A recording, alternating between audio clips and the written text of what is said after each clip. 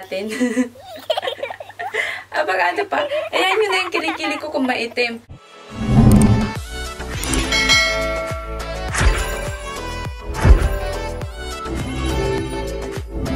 Hey guys, it's me, MJ. Ngayong araw na to, nakapag-makeup pa ako. Dali lang natin yung makeup natin.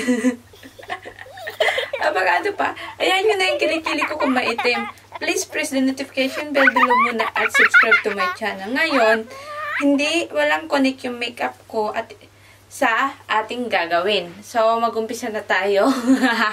Pero bago yun, mag-subscribe muna kayo ako ulit-ulit. Ngayon, meron tayong gagawin. So, nakikita nyo tong kilikili ko. Medyo maitim siya, pero pagtsagaan nyo na. Pero mag-ano tayo today? Mag-wawax. So, syempre sa start, maitim pa yung mga kilikili natin. Tapos susunod siguro, pag tumagal-tagal na nag-review-review tayo, baka pumuti, pero pag, ano, ayan yun na yung kilay ko. Baka meron mag, mag-sponsor. So, today is, magwa-wax tayo. Ang pangalan ng wax is Nudge. Ayan siya. Hindi. Yan. Nudge Sugar Wax. Natural Nudge Sugar Wax. May mga buhok-buhok naman na yung kilikili ko, so pwede na. Tapos, medyo maitim, pero pagtyagaan nyo na, kasi talagang ganyan, pag nag-umpisa tayo mag-review, hindi naman talaga puti-puti yung kilikili natin. Depende na lang kung inaalaga, kung may dermatologist ka o may nag-aalaga talaga sa'yo sa kilikili mo. May nag-aalaga talaga sa'yo sa kilikili mo. So, ito, today's, hmm, bango. hmm. Heaven. so, ngayon, mag-umpisa na tayo. Ang product na to ay tinatawag nilang nuts. This product, hindi po siya sponsor, pero nagustuhan ko to. Sugar wax siya. Meron naman mga cold wax. Parehas rin lang naman dito. Pero, mas, depende siguro sa paggamit natin. Marami namang wax na pwedeng gamitin. So, ito na siya. May nag-message. ito siya, Nudge Sugar Wax. Meron din siyang pangtanggal na straps. Pero, hindi ito ang gagamitin ko. Kundi, ang gagamitin ko is papel. Ayan, nag, ano ako ng mga papel na scratch. Naggunting-gunting na ako. Kahit anong scratch dyan na papel na kupunban or A4. Depende sa inyo kung anong ano kaya ng kilikiling nyo na ano. Kung, yan yan. Meron tong sabon i-wash nyo lang siya kasi nga lang, hindi ko mai-ano sa toilet. So, tapos, pagkatapos nun, pagkalinis nyo na yung kilikiling nyo, so, ayun na, mag-umpisa na tayo. Meron din siyang popsicle pala, nakalimutan ko. May popsicle ito na nakasama doon. Tapos, may sabon na nakalagay doon din. Nakalimutan ko magkano presyo kasi nagamit ko na siya eh. Ayan. Pero, gusto ko nga kayo turuan kung paano mag-ano ng kilikili.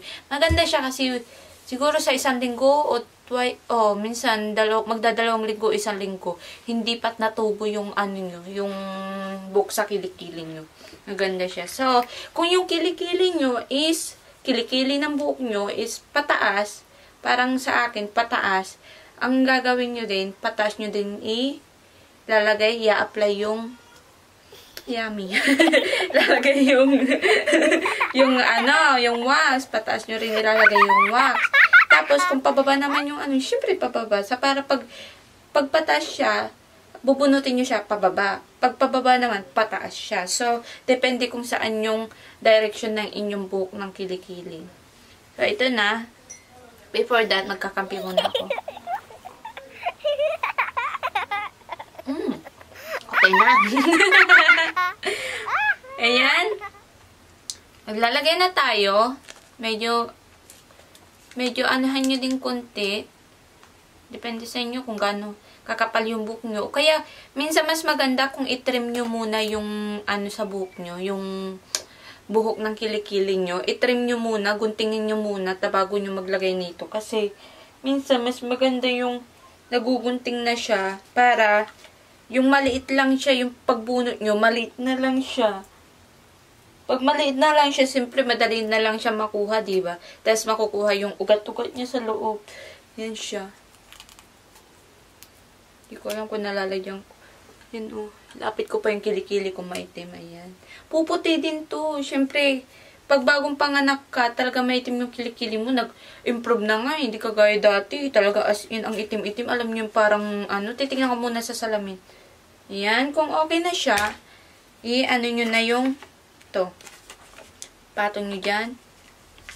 Huwag kayong magmadali na, ano, na bunutin agad siya. Medyo, i-fill nyo muna siya. Parang ano lang yan, ah. Parang pag-ibig lang yan. Kailangan i-fill nyo muna siya bago nyo i-break. i-break. Ayan. I-fill nyo muna siya konti. Ganito rin ang gawin nyo sa cold wax. Maganda siya. So, ito. Gumawa ko ng ganito. Patagalin nyo konti. And, ready na ba kayo? Ganyan nyo siya para mag-ano. One. Dali. Patagalin ko konti. Yan. One. Pababa siya kasi yung buko pataas. So, one, two, three. Kala nyo, ready na no. okay. One, two, three. Hmm, ayan na siya. Tingnan nyo. Hindi ko alam kung makita nyo eh. Ayan na yung buhok. Ayan o, may nakuha na siya. Tingnan nyo yung buhok sa kilikili ko kasi hindi naman siya marami ngayon. Kasi nag-ano na ako last last time. Pero at least may nakuha tayo. Na siya. Ayan o, yung kilikili ko. Ayan. Kung gusto nyo ulitin ulit, pwede naman, ibalik nyo lang. Pero yung book na anuhan nyo, pwede nyo ibalik. Kasi hindi naman kaagad-agad makukuha yung isang guhi. Pero, pag marami na yung book sa kilikiling nyo talaga as in, mabilis na siya.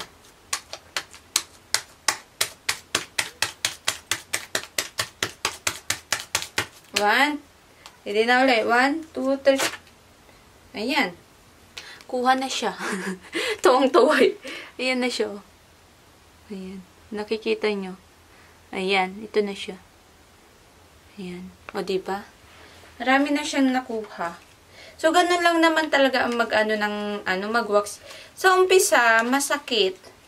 Kung, ano, sa umpisa, maglagay kayo ng pulbo, o kaya baking soda, o kaya yung cornstarch.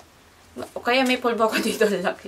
Hindi ko nilagyan kanina. Kung sa umpisa, kung gusto niyo maglagay kayo ng pulbo, cornstarch, pulbo, ganyan. Ito, mabilis siya. Kasi kung bago ka palang mag-ano ng kilikili. Ayan. So, hugasan ko muna yung kilikili ko and I'll be back. And then, pagkatapos nyo nang nawaksa, nahugasan nyo yung kilikili nyo, kuha kayo ng Johnson BB Oil. Kasi, pang-moisturize ng inyong kilikili, sa matanggal din yung mga libag ng kilikili nyo. Yun lang siya. You know, medyo madumi. Dali, dagdagan natin. Ayan siya. Yan, medyo dugdug na siya. Pero ilagay nyo pa sa So, yan kung nakikita nyo, medyo malinis na siya. Ayun. Yan na.